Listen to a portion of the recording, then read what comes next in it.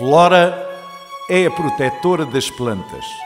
Consegue comunicar com as plantas e tem o poder de fazer crescer todas as plantas. O Capitão Mundo tem o poder da sensibilização ambiental. Tem o poder de semear ideias que protegem o mundo.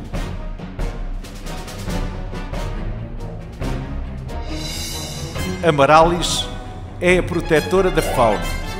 Com a flor encantada, tem o poder de curar todos os seres vivos ao seu redor.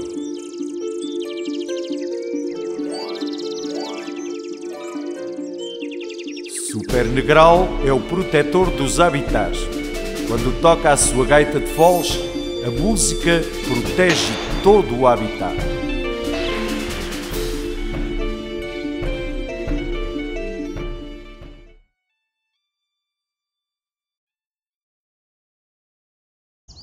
Sabias que o canhão fluvial do Rio Erge é o maior afloramento rochoso desta área protegida? O Rio Erge, no Conselho de Idenha Nova, é ainda um rio selvagem, com grande capacidade de erosão, o que levou à formação de três impressionantes gargantas, numa curta distância, a que se chamou Canhão Fluvial do Erge. Descobrir este canhão, onde o rio corre a 150 metros de profundidade, é encontrar um outro mundo, feito de granito.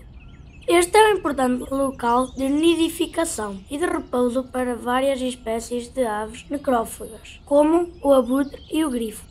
E tu, sabias que o rio Erge existia este impressionante canhão?